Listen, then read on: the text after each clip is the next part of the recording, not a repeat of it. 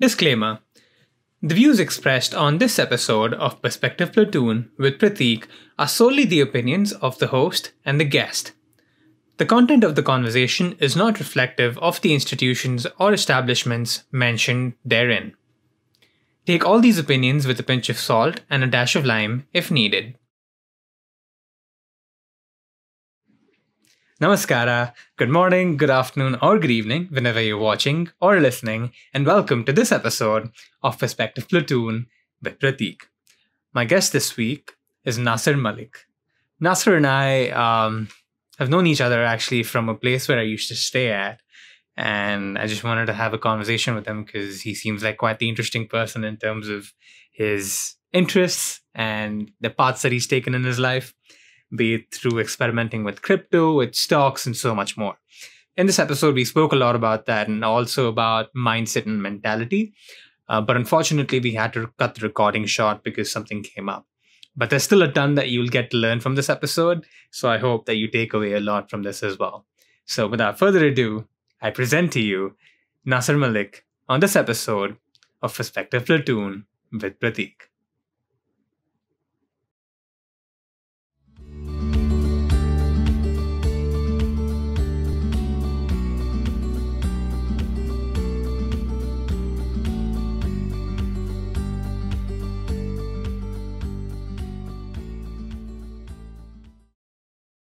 Hey Nasir, how's it going, man? I'm doing well, man. What about you? Doing good, doing good, doing good. Uh, before we get started, let the people know who you are, uh, what some of your likes are, some of your dislikes are, any future aspirations, interests, the whole spiel, the whole spiel.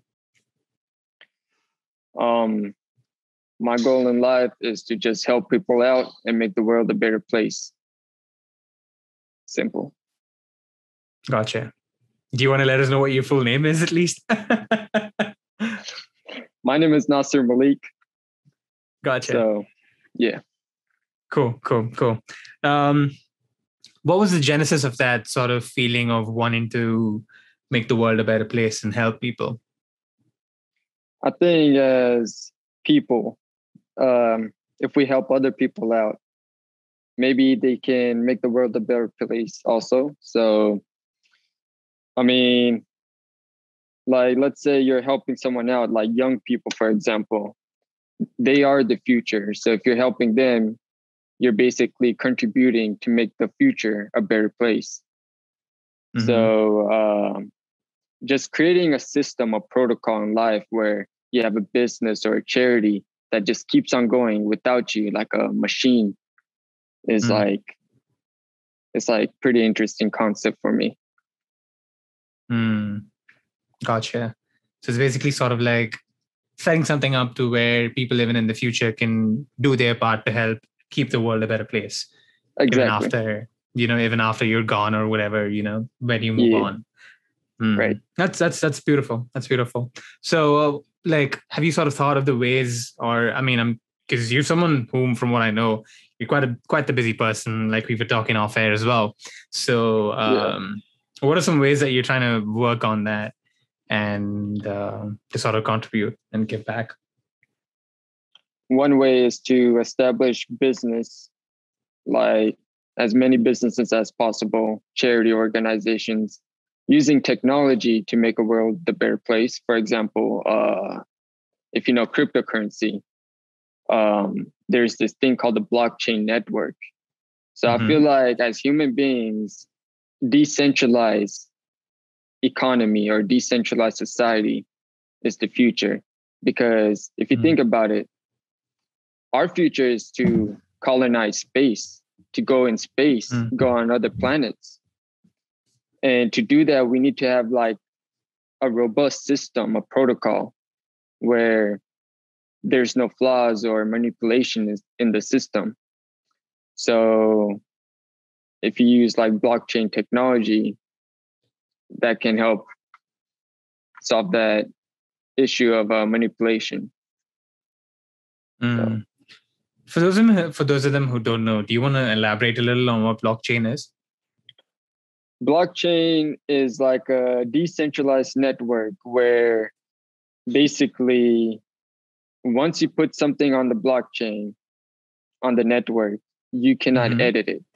No one can modify Mm. it. If you want to modify it, you have to modify every single account on the blockchain within few seconds, actually less than a second, which is impossible unless you have like quantum computer or something. So it's like a heavily encrypted ledger. That's what I think Mm. of it. Mm. And it's all synchronized. Mm. So Because because I've heard people talk about it a lot, even in terms of um, combating with hacking and things like that. So is that is that Right. right? Like, uh, there's a lot of things that it can do. um so the worst thing that can happen is that so on the blockchain, let's say you own Bitcoin or any other cryptocurrency and you have a Mhm. wallet.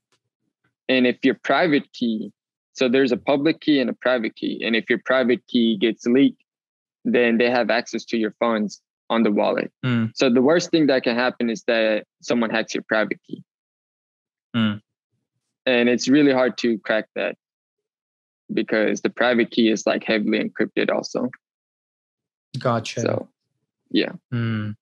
Speaking of crypto, uh, I mean, I'm just a little curious about crypto. So if you don't mind me indulging in that a little more, uh, can you elaborate on what crypto is for those of us who are unaware?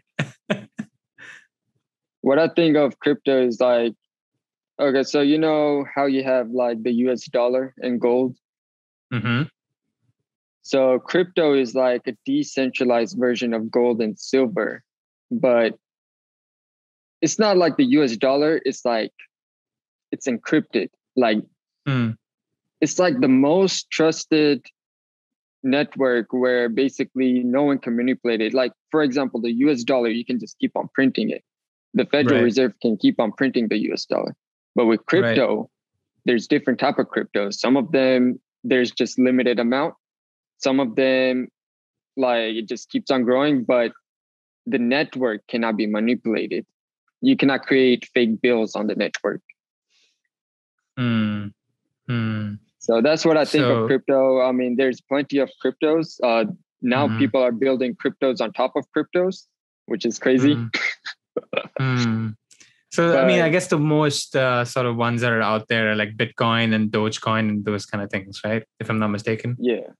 So Bitcoin is so Dogecoin is like a meme coin. It's like there's a whole bunch of amount. It's like there's millions of Dogecoins on the Dogecoin network. So it's like a meme coin, but recently there has been a hype and people got into the hype and some of them lost money, some of them made a whole bunch of money. Bitcoin is kind of like Dogecoin, but it's limited. And so with Bitcoin, you can actually mine it using uh, using your GPU on your computer. Hmm. But uh, the difficulty of mining gets harder and harder, and uh, it gets expensive. So there's other cryptos on the network like Ethereum, Litecoin, and some of them are really new, meaning that you can easily mine them. You don't even have to buy them. You just use your computer and electricity to mine it, and free. You get free uh, cryptos. So um, what I'm actually doing right now is I'm working on the network to build applications, decentralized applications. Hmm. Uh, they're known as smart contracts. So you can do a lot of stuff with that in the industry Mm. right now. So Mm. Uh, I mean, I don't know if you're someone that uses a lot of Twitter, but I kind of I am a Twitter user, and a lot of the times I see that uh, someone like an Elon Musk tends to affect the trends a lot. Uh, so just Oh. out of curiosity, like how does that affect uh, the process of maybe mining more Bitcoin or mining Ethereum or Dogecoin Well, for that matter? what I see from that from the Twitter is that a lot of people are sheep, they're followers, and they're blind, Mm. they're blindly following this technology into a hype. For example, like if you see what happened with Dogecoin, people were following like crazy, and whenever Elon Musk tweeted something positive about Dogecoin, it would basically make the price of Dogecoin go up Right. but it does not mean that yeah it is kind of like he's basically affecting the network because he's a powerful celebrity Right. Um, it's kind of like stocks, you know, like if a celebrity tweets about it and say that, hey, I'm going to invest in this stock, the stock can go up. Mm. So crypto is like kind of like between currency and uh, a stock. Mm.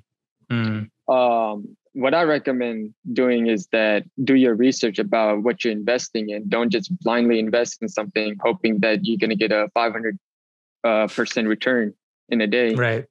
Like Right. it's a long term game. Like it might Mm. take uh, 10 years, but you have to keep on investing in what you believe in and you have Mm. to keep up with the technology.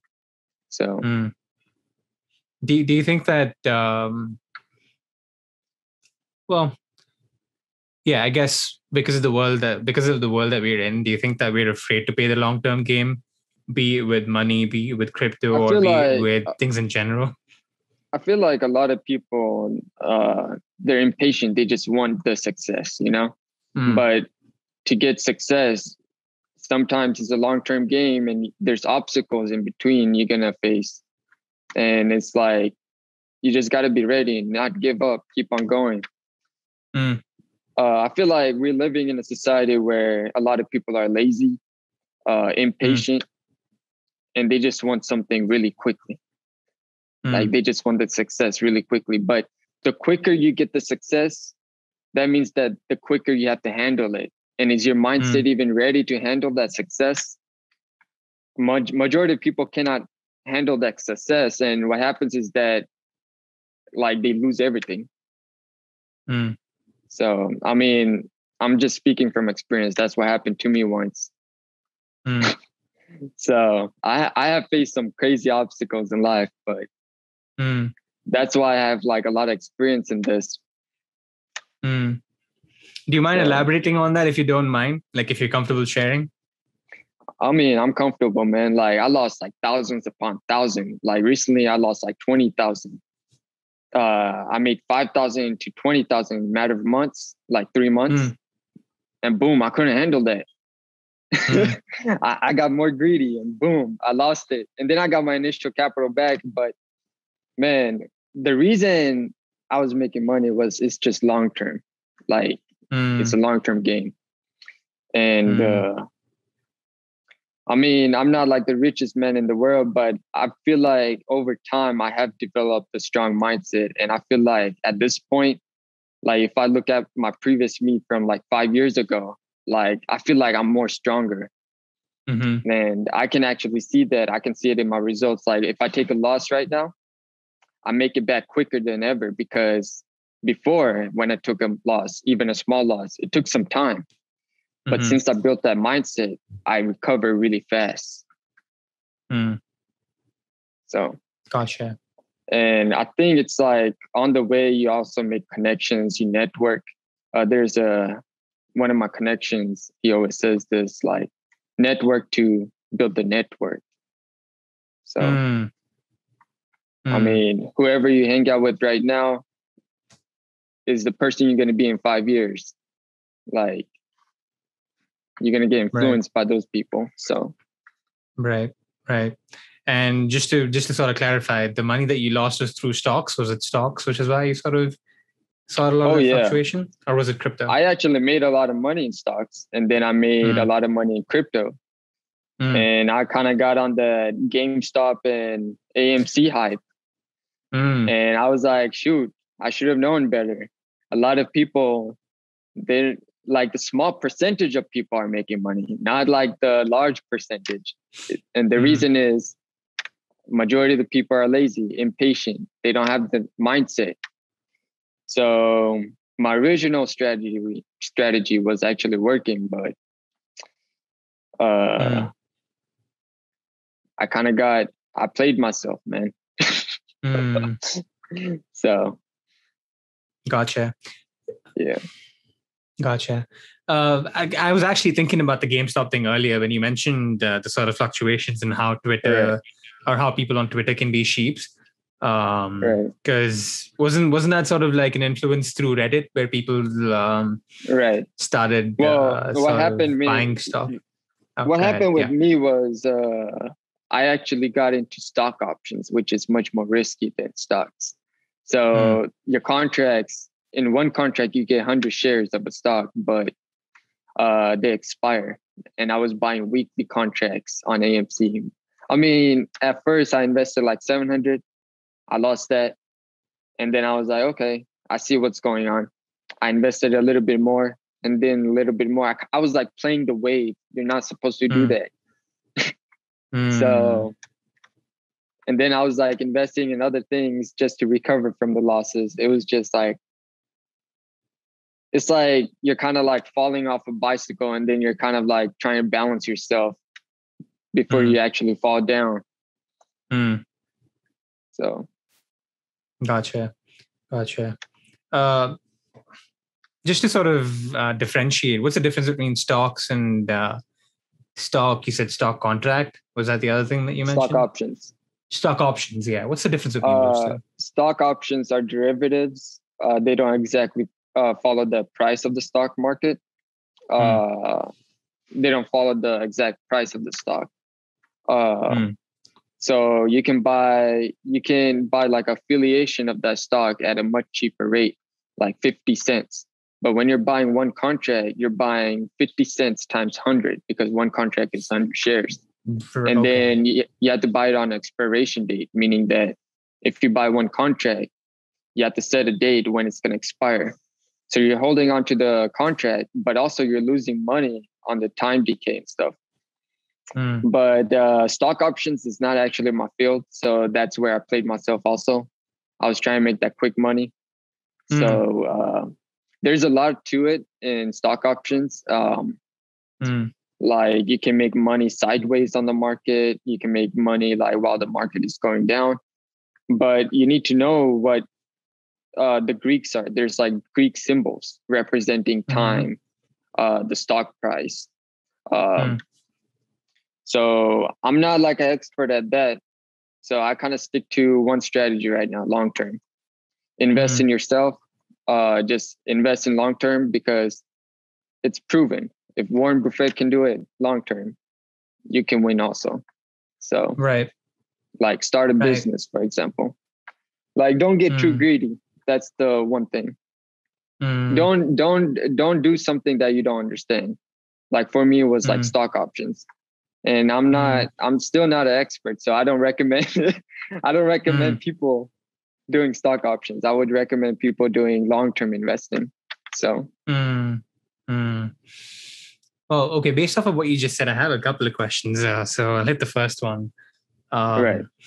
Through that, how important did you? How important was it for you to understand that the sense of delayed gratification is more important rather than instant gratification? Because that's what you went out seeking, right? You went out, you sought after a sort of instant hit of a stock or a stock option or whatever uh, else associated with the stocks that you were buying. So, how important right. is it for you now that you've noticed that uh, change um, through experience to rely I on kinda, delayed gratification? I kind of like to compare this to ping pong. Like, for example, mm. like when you're playing ping pong, right. if you hit the ball too fast, can you handle that? Like, it's like same with life, you know, like your lifestyle. Like, if you try to go too fast for that instant gratification, I mean, maybe you're not going to be able to handle it. You might miss mm. the ball, you know? Mm. So, mm. like, but if you're hitting the ball slightly, like slowly, you know, you have more control over it. So it's like if you're thinking about the long term game, you have more control over it mm. than the short term game. Mm. So yeah, that's a fair point. Yeah, that's a fair point because I think when you try to de- dive in head first, you tend to lose a lot of you tend to lose control. Um, right. You don't have as much control when you dive in but head first. Whereas the yeah, more you do it, the more you build up the skill set to actually handle that fast mechanism. Right. You know. Right. So, which is going to be which is going to be my next question in the sense that um, sometimes we have to take those sort of steps to sort of give it a shot because you never know which way oh, things yeah. can go, right? So uh, now that you've had this experience of losing money, how do you know where to draw the fine line?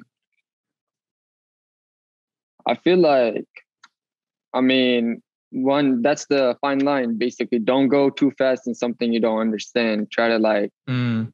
go on the slow and steady route until you understand something really like to the point that you can actually handle it, you know? Right. So it's just So- repetition after repetition and sort of getting that Right. rep into. Uh, one thing I know is that people equals power. More people, more Mm. power. So, I mean, if you're gonna be doing something big and really fast, really quickly, uh, surround yourself with people. Invest in some people around you. Uh, Mm. Then you can actually handle something really quickly because you're together, more powerful. So, Hmm. How how can how can one invest in a person? And if you want to elaborate on that thought of in terms of investing in the right people, investing on in the right people around you, um, how does one go about doing that? In, from your perspective, of course. um, most important thing is like uh, like you have to understand yourself who you are what your goals are in in life right Mm. you i mean there's a lot of valuable people out there but are they the right type of people you want to hang out with? You have to think like that. So for me personally it's like mind body and spirit. So like if people are if certain groups of people are focused on that i'll surround myself with those people. And Mm. then it comes to business um, something that i work on like for example i like cryptocurrency. So i'm Right. going to surround myself with people who do cryptocurrency. So like i try to look for people who are bigger than me Mm. and with that actually it brings more connections and then you bring in more knowledge and you kind of gain more power like that in something you actually have uh, something that you're ambitious about you know Right.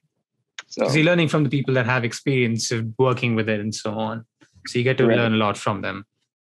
right Right. So, uh, Uh, I mean, if oh, you want to actually build a team of people, like Mhm. I think the most valuable thing is look for people who are better than you, who are actually who can actually teach you, rather than you're teaching them and wasting time, because time is precious, you know. So, like, look for people who are better than you. I guess. I mean, that's what I think. Mm. Mm. Hey, that's fair. That's fair. That's fair. No, I take your point. Uh, but do you think that this is just sort of maybe me playing devil's advocate in a sense? But do you think that um, you can get into a sort of an echo chamber if you were to just sort of be in a group with a singular sort of mindset, or do you think that that's more Wait, positive than excuse it me. is negative? What was that? What chamber? echo chamber like like the concept of an echo chamber where you're just listening to the same thing or listening Are to the things that you want to listen to Is it like tunnel vision? sure yeah i guess you could call it that um not not exactly to be quite honest Right. with you it's sort of like so I feel like uh, if you're hanging with people who are just like not really growing, I mean, try to figure out like what type of benefits you can get from that person. Maybe, I mean, sometimes it just comes to it's not about like gaining value from each person. Sometimes it's about giving value. Maybe that person actually needs value. So you try to help that person out if he's not growing. But Right. um, I mean, you cannot just like force someone to actually change or do something. You just give Exactly. them options. You give them ideas, and if they change, it's their will. If they don't, it's it's all good. Like you just move on. But I mean, it does Mhm. not mean that if someone is just not growing, it it doesn't mean that you have to like uh, cut the connection off. Maybe that Mm. person might grow in the future. You know, like, but uh, don't hate that person because he's not growing. right right right. That's no totally because we all grow at a different pace. We all grow at a different rate. Right. so you don't necessarily have control over how someone else around you grows. Right. but um, yeah there's something interesting that you mentioned there in terms of how there's a give and take. Uh, how important do you think it is for people to have that sense of give and take in the groups that they're in? Because if you're just being that leech that's sapping out everything and not necessarily giving back um, I think it's it really can be a little important. harmful i think.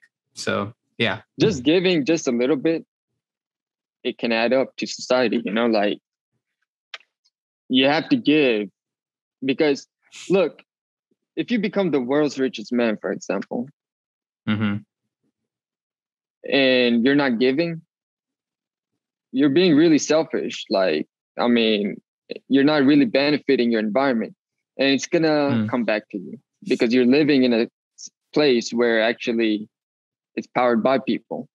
government. So like if you're not contributing, I mean, it's gonna come back to you. I mean, different mm-hmm. ways. That's what I believe. And um, also, like, if someone in my community becomes rich, it does not mm-hmm. mean that you have to be jealous of him or hate him because he's rich or distance yourself. Actually, mm-hmm. that actually that's a benefit of itself. If someone becomes bigger, better than you, that means that it's going to trickle down in the community. The community is going to become better. Right. So uh, if that person, if someone in the community becomes big, that means that he's going to create more jobs. Mm. So, I mean, that's like I I got like the mindset I've built up over time. It's just crazy, man. mm.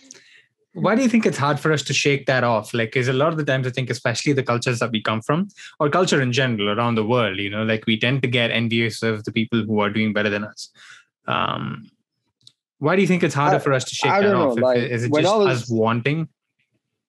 I guess like people really want something, but I don't know. Like some people, also it comes to the mindset, what you're thinking, what type of people you, you were surrounded with when you were growing mm. up. Mm-hmm. But uh, I mean, there's a famous saying that just focus on yourself, compete with yourself. You're just going to be happy. Mm-hmm. Like, don't try to look at people better than you and just, I mean, try to look at them and be like, hey, I'm inspired by you. Right. But I'm glad you're up there. You're actually doing something new and you're improving, and I can learn from you now. Mm. But uh, I feel like jealousy, envy, and greed, it can really disrupt you, bro. Like it keeps you mm. kind of like in a steady spot, you know. Um, mm. Some people they get really into that, and it can really like emotionally affect them. So, mm. uh, the only man the only person you need to be competing with yourself i mean competing is yourself you know mm. so number one thing compete with yourself don't try to like get in that zone of being jealous and be you know greedy mm. So i mean gotcha because yeah. yeah i think it's i think with the way that we are or the way that we've been right. wired it's very sort of um right. it's very it's in it's an inbuilt characteristic i feel like you know what i noticed sort of, is that mm-hmm. one thing i noticed in life is that like if you actually compete with yourself and kind of like stay in your own place and right. grow in your own level and you know you're growing because you're competing with yourself and you're actually tracking the progress you're going to be happy like you're going to be happy with little things you have mm-hmm. like literally. But if you're just like competing with someone else, trying to be in their lane, their lifestyle is different. Their storyline is different. Right. You're not going to be happy because everything they got, they got it through something else, like by their surrounding, and their surrounding was different than yours. So, like, you're not going to be happy because the frequency is different between you two. Mm, mm. So, how important is it for us to understand that we all have different templates? Because, like you just said, right, there's we all have different storylines, we have different templates. Like, I feel like that's right. something that we tend to forget a lot. Like, even on social media, like if somebody's listening to a motivational speaker, people try to imbibe that and hope that that the same thing happens to them, but it doesn't. That's not how it no. works. Yeah. One one thing I notice is that if you're young, try to like try everything you can and then find that one purpose like you're gonna find that perfect zone, that mm-hmm. perfect mm-hmm. strategy to grow, and then just stick to it. Put your hundred percent on it.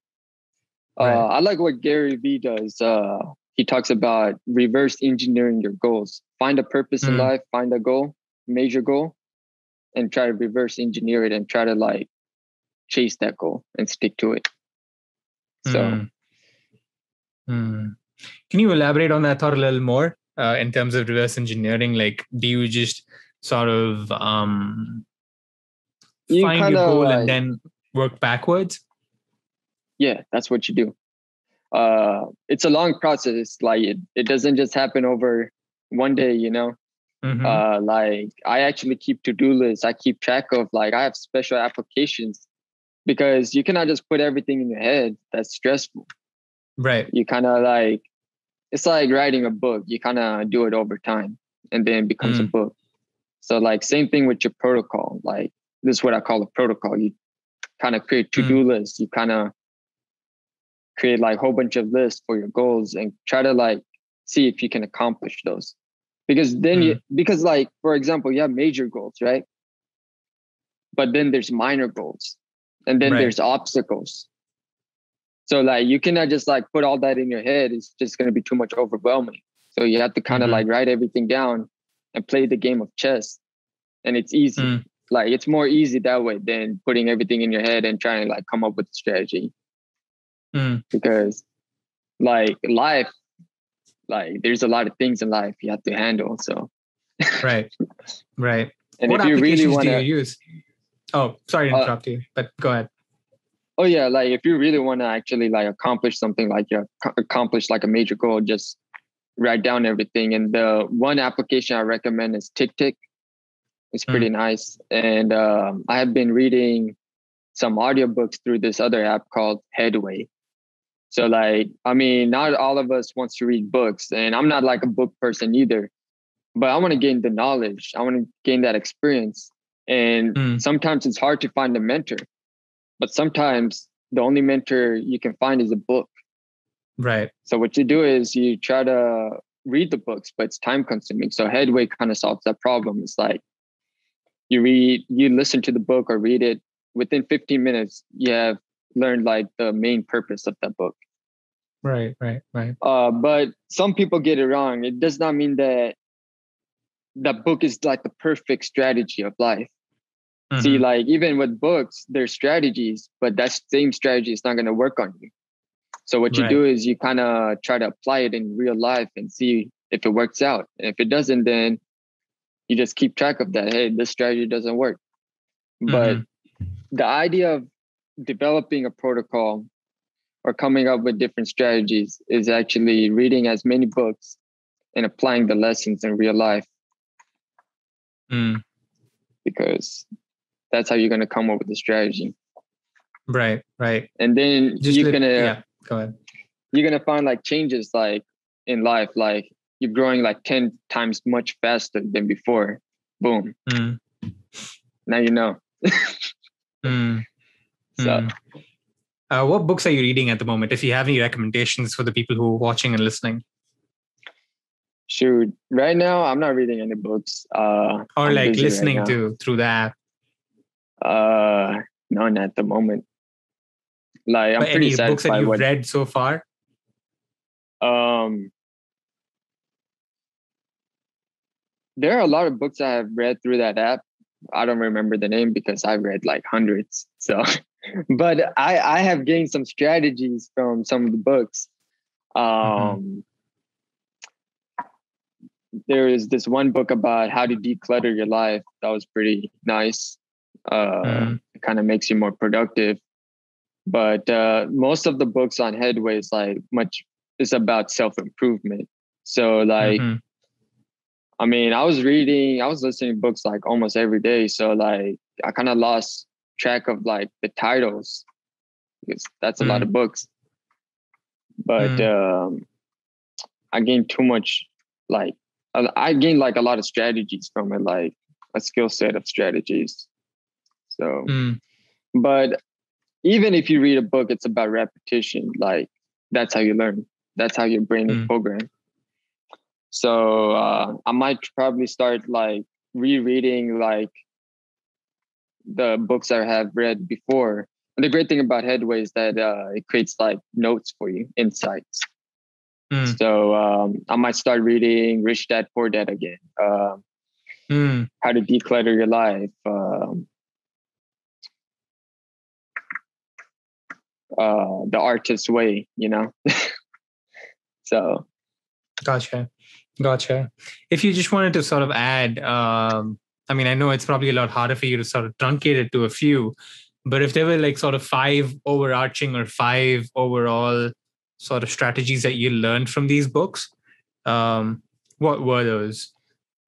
Oh, like overall, like what I see is that okay, overall what I see is that you got to stay consistent, organized, Mhm. all the books are talking about that consistency and staying organized and uh, not giving up on your goals. So Mhm. that's with consistency.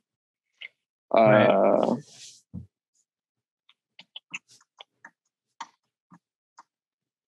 Sleeping, sleep is really important. Try to get that eight hours, nine hours. Mhm. Uh, try to eat the right food. So, I mean, main thing I see is that sleeping, staying consistent, and have some goals in life. Like, don't just be like, oh, I don't know, everything is undecided. Try to find that purpose. Mm. So, Gotcha.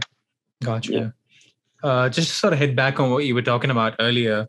Um, like overall, your goal is to help and give back to people, um, be it through setting up smaller businesses or like, you know, just sort of finding ways, finding networks to sort of give back to the community. Um, Right. I just wanted to ask, like, uh, how are you trying to give back to the community through crypto or through any of the businesses that you're setting up? If you if you're comfortable sharing. so my skill set is like programming, uh, software Mhm. engineering, building applications. So I would like try to um, build applications that can help society out. Uh, Build like a decentralized tool that can help the economy or society out. You know, like sometimes we might need decentralized tools because centralized tools disturbs the society. Mm. So there's a lot of issues that I see. For example, uh, I'm not trying to get too political, but banking, um voting, our voting system. Mhm. Like, uh, there's a lot of things out there that can improve, and uh, with technology, you can actually do that. Uh, for example, like taxes. A lot of people Right. are not getting their refund. Uh, a lot of people are not getting their uh, unemployment checks really quickly. It can. We have Mhm. the tools. We have the tools. We just one person cannot do that. We need a whole bunch of people on a common page to improve the system. Mm. Um, we we have freaking uh, Facebook that can handle billion users. So why can't our government system handle billion users? You know. Mm. like why does some of the websites go down when a billion users are using it so there's like a lot of issues like that that can be solved through technology but we have to kind of be together you know we got to be like bees all Mm. synchronized Mm. Mm. Yeah, definitely, definitely. Because um, if you just wanted to elaborate, what's the major difference that people who are not necessarily aware of the difference between decentralized and centralized sort of applications that one would need to know? Like, what's the major difference between the two? so you can think of centralized is like it's like kind of like um so a centralized system is like kind of like monarchy kind of like Mm. someone makes the rules and controls Right. everything. Someone can Mhm. actually access your data. Someone can access Right. your photos. Someone can access your pictures and everything, like messages. They can actually edit it. They can do anything they want. Mm. A decentralized system is like no one owns that data. No one can manipulate it. Like Mm. you are the owner. You know where it is Right. no one can see it it's like the system the network only sees it it's communicating with each other Mm. but it's uh, it's encrypted Mm. Uh, the network is just seeing letters and numbers Mm. but those letters and numbers are becoming data for you to see so like Mm. i feel like centralized systems are not too strong like in certain scenarios but uh, Mm. decentralized systems kind of solve some of the common issues we have in society so Mm. but i feel like ha- if you want like fairness and justice in certain situations decentralization can really help you out with that Mm. so Do you think that decentralized systems will sort of lead to a decentralized society? uh what was that do you think that decentralized systems, like the one that you were just proposing, do you think that that would lead to a decentralized society? It could. I mean, as people, I think the main thing we have to do is like, um, we have to um try it out. So Mm, we have to just try a decentralized tool. mm. So Thank you for watching this episode of Perspective Platoon with Prateek. Make sure to follow Nasir on his social media accounts and mention in the comment section below some of the things that you found interesting, intriguing, or relatable about this conversation. Make sure to also check the description box below for other sources of information and content that we've talked about today. If you've made it this far, thank you once again. I really appreciate you joining in on the conversation. Make sure to like this video, share it around, and subscribe to the channel, and hit the bell icon to never miss another episode. Until next time, stay safe, take care, and don't forget to keep your mind open to different perspectives, because you never know, random relatability might just be around the corner.